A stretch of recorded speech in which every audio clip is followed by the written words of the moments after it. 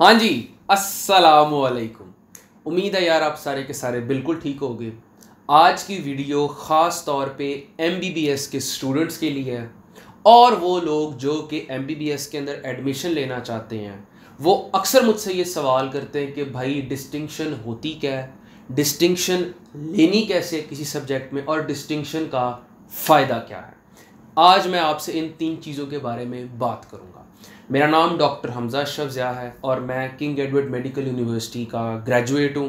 मेरी अल्हम्दुलिल्लाह पाँच डिस्टिंक्शंस थी। Physiology ENT gynae obs medicine and peds तो मैं आप लोगों को ये बताऊँगा कि मैंने अपनी सोशल लाइफ के साथ साथ पढ़ाई को कैसे मैनेज किया और ये डिस्टिंक्शंस लेने में मैं किस तरह कामयाब हुआ। अल्लाह की ज़ात का करम सबसे पहले ज़रूरी है। उसकी ज़ात के करम के बगैर कुछ भी नहीं हो सकता। इंसान ऐसे बड़ा बोल बोलने लग जाए कि मैं ये हूँ, मैं वो हूँ, मैं इतना पढ़ता था, ये नॉट एट ऑल उस ज़ात का करम होना सबसे ज़रूरी है। डिस्टिंक्शन का मैं आपको मतलब बता दूँ कि जब भी आप यूएचएस के अंदर, किसी सब्जेक्ट के अंदर 85 परसेंट से ज़्यादा मार्क्स लेते हैं तो उसको कंसिडर किया जाता है कि इस स्टूडेंट की इस सब्जेक्ट के अंदर डिस्टिंक्शन है। और के के अंदर जब आप 80 परसेंट से ज़्यादा मार्क्स लेते हैं किसी सब्जेक्ट के अंदर तो उसको उस सब्जेक्ट के अंदर डिस्टिंक्शन कंसिडर किया जाता है। अगला सवाल ये पूछा जाता है कि भाई इस डिस्टिंक्शन का फ़ायदा क्या है? ऑनेस्टली स्पीकिंग अगर मैं आपको क्लियर वर्ड्स में बताऊँ कि अगर कोई ये समझे कि एक स्टूडेंट जिसकी डिस्टिंक्शन आ गई है और एक स्टूडेंट जिसकी डिस्टिंक्शन नहीं है, उनमें कोई ज़मीन आसमान का फ़र्क है? डिस्टिंक्शन वाला जो स्टूडेंट है, वो आसमान पे जिसकी डिस्टिंक्शन नहीं आई, वो ज़मीन पे है जिसकी डिस्टिंक्शन नहीं आई, वो एक बड़ा बेकार डॉक्टर है, वो ज़िंदगी में एक्सेल नहीं कर सकता, ये बात गलत है। डिस्टिंक्शन आपको एज ज़रूर देती है। सेंट्रल इंडक्शन पॉलिसी में जब आप एफ़ का एग्ज़ाम देते हैं तो उसमें इसके मार्क्स होते हैं। जब आप किसी इंटरव्यू में बैठते हैं तो ऑब्वियस सी बात है एक इंटरव्यूअर के सामने दो स्टूडेंट है। एक स्टूडेंट कहता है सर आ, मैं एक नॉर्मल पास होने वाला स्टूडेंट दूसरा कहता है सर मेरी दो डिस्टिंक्शन हैं। तो ऑब्वियसली इंटरव्यूअर के ऊपर एक अच्छा इंप्रेशन पड़ता है। ये इसका सेकंड एडवांटेज है। तो ये आपको एज ज़रूर देती है लेकिन कोई ज़मीन आसमान का फ़र्क मैं कहूँ ऐसे नहीं होता। ऑनेस्टली स्पीकिंग मैं आप लोगों के साथ झूठ नहीं बोलूँगा ना ही मैं बोल सकता हूँ। लेकिन हैविंग सेट दिस आप सब लोगों ने जो जो भी एमबीबीएस के अंदर है, मेहनत ज़रूर करनी है डिस्टिंक्शन के लिए और ट्राई ज़रूर करनी है। अगर ना आए तो दुनिया ख़त्म नहीं हो जाती, लेकिन अगर आ जाए तो बहुत अच्छी बात है। अब हम ये डिस्कस करेंगे कि भाईजान डिस्टिंक्शन लेनी कैसे है? पढ़ता तो हर बंदा है, बहुत से स्टूडेंट्स पढ़ते हैं, लेकिन डिस्टिंक्शन कुछ स्टूडेंट्स की आती है, उसकी रीज़न क्या है? मैं आप लोगों के साथ डिस्टिंक्शन लेने के मेथडोलॉजी को दो हिस्सों में डिवाइड कर देता हूँ। एक है स्टूडेंट रिलेटेड फैक्टर्स एक है किस्मत रिलेटेड फैक्टर्स हम दोनों को डिस्कस करेंगे, जब ये दोनों कंबाइन होते हैं ना, तब आपकी डिस्टिंक्शन आती है। आप लोगों ने वीडियो एंड तक देखनी है, तब आपको मेरी बात की समझ आएगी। सबसे पहले बात कर लेते हैं स्टूडेंट रिलेटेड फैक्टर्स की। सबसे पहले चीज़ आ जाती है आपकी मेहनत। मेहनत in the right direction for example M B B S का सिलेबस बहुत वाइड है। आपने सबसे पहले वो टॉपिक तैयार करना होता है जो पास्ट पेपर में सबसे ज़्यादा आ रहा है। फॉर एग्ज़ाम्पल एक टॉपिक है वो पास्ट पेपर में दस दफ़ा आ रहा है। एक टॉपिक है जो पास्ट पेपर में एक दफ़ा आया या एक दफ़ा भी नहीं आया। अब आप जो दस दफ़ा टॉपिक आया हुआ है, उसको अच्छी तरह से रट्टा लगाओगे। आप उसको हर डिफरेंट किताब से पढ़ोगे। आप उसमें आप डायग्राम्स बनाओगे। क्यों? क्योंकि उसकी प्रोबेबिलिटी है ज़्यादा। जो सवाल एक दफ़ा आया या एक दफ़ा भी नहीं आया, आप उसको गो थ्रू करके पढ़ ज़रूर लोगे। लेकिन आप दोनों पे इक्वल टाइम नहीं लगा सकते। आपने एम में हार्ड वर्क से नहीं स्मार्ट वर्क से चलना है। ज़रूरी नहीं है कि आप इतनी मोटी किताब पढ़ के ही चीज़ याद करो। अगर आप छोटी किताब से पढ़ के सवाल को, जवाब अपने को पेपर के अंदर बेहतर तरीके से रिप्रोड्यूस कर सकते हो तो अब भाई आपके डिस्टिंक्शन के चांसेस ज़्यादा हैं। ये मेरा असूल था, यही चीज़ मैं आपको बताना चाहता हूँ।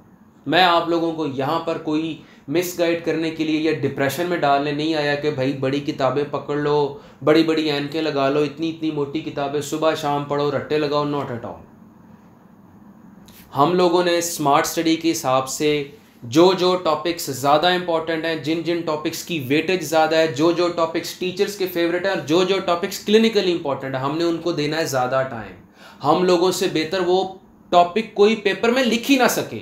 तब हमारा चांस बनेगा डिस्टिंक्शन का। अब एक सवाल जो आया ही नहीं है बुक में वो ज़रूर लिखा हुआ है। अब हम उसको सिंपल रीड करने की बजाय दो घंटे उस सवाल पे डाल दें तो ये कोकलमंदी तो ना होगी। और जो सवाल जिसकी फ्रीक्वेंसी 10 से 12 दफ़ा आने की है सवाल में, हम उसको टाइम कम दें, और फिर हम कहें कि जी, हमने बहुत मेहनत की है। तो यार इस मेहनत का एमबीबीएस के अंदर फ़ायदा नहीं होगा। आप अपने आप को तसली ज़रूर दोगे कि यार मैंने बड़ी मेहनत की, मैंने बड़ी हार्डवर्क की। लेकिन भाई इस हार्डवर्क का फ़ायदा को नहीं होगा।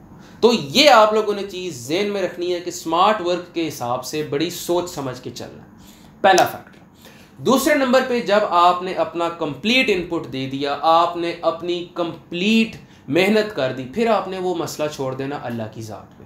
वो ज़्यादा ऊपर बैठी है, वो डिसाइड करती है मैंने किस शख्स के कितने मार्क्स लगाने हैं। बहुत बच्चे जो बहुत ज़्यादा अच्छा पेपर करके आते हैं, उनकी सप्ली भी आ जाती है। बहुत बच्चे जो कि कैजुअली पढ़ते हैं, वो लोग बड़े आराम से पास हो जाते हैं, वो डिसाइड करती है वो ऊपर वाली ज़ात। तो आप लोगों के हिस्से में है मेहनत करना अच्छे तरीके से। यहाँ पर आपको मैं सिर्फ़ जनरल गाइडलाइंस दे रहा हूँ। हर सब्जेक्ट की इंडिविजुअल गाइडलाइन आपको इंडिविजुअल वीडियो के अंदर मिल जाएगी, चाहे वो अनाटमी हो फिजियोलॉजी हो बायोकेमिस्ट्री हो, चूँकि मैंने सारे सब्जेक्ट्स अल्हम्दुलिल्लाह अच्छे तरीके से पढ़े तो मैं आपको हर सब्जेक्ट के हवाले से गाइड कर दूँगा, वो आप लोगों ने टेंशन नहीं लेनी अब बात कर लेते हैं स्टूडेंट रिलेटेड फैक्टर तो मैंने आपको बता दिया लक रिलेटेड फैक्टर क्या किस्मत का क्या रोल है? किस्मत का रोल ये है कि मैंने ज़िंदगी में कभी भी एक्सपेक्ट नहीं किया कि मेरी डिस्टिंक्शन आएगी। अब आप लोग पूछेंगे, ये क्या बात हुई? अब आप अच्छा पढ़ते हैं तो आप एक्सपेक्ट क्यों नहीं करते? उसकी वजह जनाब ये है कि मेरी पाँच डिस्टिंक्शंस आई जो मैंने आपको गिनवाई।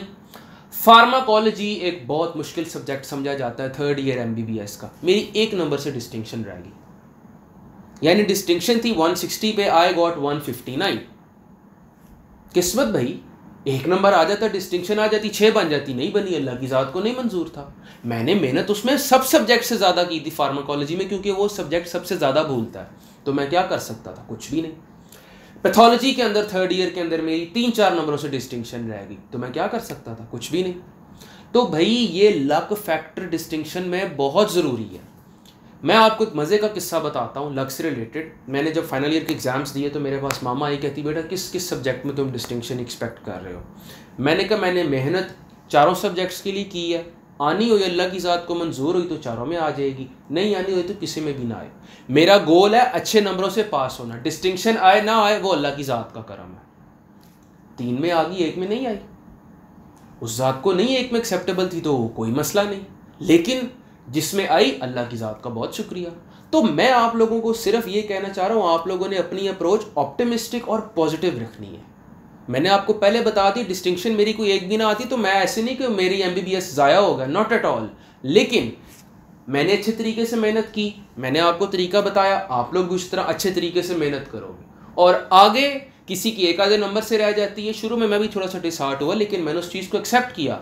फार्माकोलॉजी एक में नहीं है फाइनल ईयर में तीन सब्जेक्ट्स के अंदर आ गई है। वो ज़ात ऊपर बैठी है प्लानिंग करने वाली। उसकी ज़ात से हमने दुआ करनी है अल्लाह से। कि अल्लाह मियाँ, मैंने अपनी तरफ़ से पूरी मेहनत की है। मैंने अपनी तरफ़ से पूरी इनपुट दी है। मैंने अपनी तरफ़ से हर अच्छी बुक पढ़ी है। आगे अल्लाह मियाँ अब आपके ऊपर है। अगर आप मुझे डिजर्विंग समझते हैं, ज़रूर दें। नहीं समझते, सौ बिस्मिल्ला अल्लाह की ज़ात का फैसला तभी मेरी फार्माकोलॉजी में नहीं आनी, नहीं आई। तो ये मैं आप लोगों के साथ क्लियर कट बात भाइयों वाला मशवरा आप लोगों के साथ मैंने आपको देना था। इस वीडियो में अगर आपको ये एक्सपेक्ट करते हैं कि मैं आपके सामने कोई बड़ी बड़ी दस किताबें ले आऊँ कि जी, ये कोई राज है डिस्टिंक्शन लेने के और मैं आपको ये बताऊँ कि जी, मैं बड़ा कोई ख़ास स्टूडेंट था, मैं बड़ा कोई ब्राइट स्टूडेंट था और मुझे बड़ा कोई एक दफ़ा याद करने से सब कुछ याद हो जाता है और जी, मैं बड़ा को अरफन मौला हूँ कि मेरी आगे नॉट एट ऑल भाई। मैं आपकी तरह का आम स्टूडेंट हूँ, मुझे भी चीज़ें भूलती हैं, मुझे भी डिप्रेशन होती है, मुझे भी स्ट्रेस होती है। मुझे भी बार बार पढ़ना पड़ता है, मुझे भी बार बार रट्टे लगाने पड़ते हैं, लिख के याद करना पड़ता है, ये सब कुछ मेरे साथ होता रहा है और ये सब कुछ होता है। मैं भी वैसा ही इंसान हूँ जैसे आप लोग हैं। तो परेशान आप लोगों ने नहीं होना, भाई आप लोगों के साथ है। कोई आप लोगों को क्वेश्चन आप लोगों ने मुझे नीचे बताना है। सब्जेक्ट वाइज गाइडेंस भी आपको मैं एम की ज़रूर करूँगा। बुक्स के वाले से गाइडेंस भी आप लोगों को मैं दूँगा। डिस्टिंक्शन के हवाले से आई होप कि मैंने आपकी सारी की सारी क्वेरीज़ को क्लियर कर दिया है। भाई को दुआ में याद रखिएगा। कोई भी क्वेश्चन हो ask me in the comments बहुत शुक्रिया। अल्लाह हाफिज़।